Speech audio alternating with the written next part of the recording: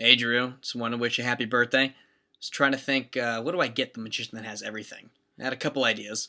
I was thinking maybe a new magic coloring book, jumbo coin, card under the glass, torn and restored newspaper, a new Svengali deck, maybe a new vanishing handkerchief, thumb tip, maybe a torn and restored card, cups and balls, color changing knives, card through window, new twisting the aces, scotch and soda, maybe some new sponge balls, can never have too many of those, ambitious card, maybe David Copperfield's laser illusion, new guillotine, a gut buster, devil's torture chamber, zigzag girl, how about a new sub trunk, origami, Indian rope trick, needle through thumb, maybe some flash paper, how about a flaming wallet, linking ring, how about a hundred dollar bill switch?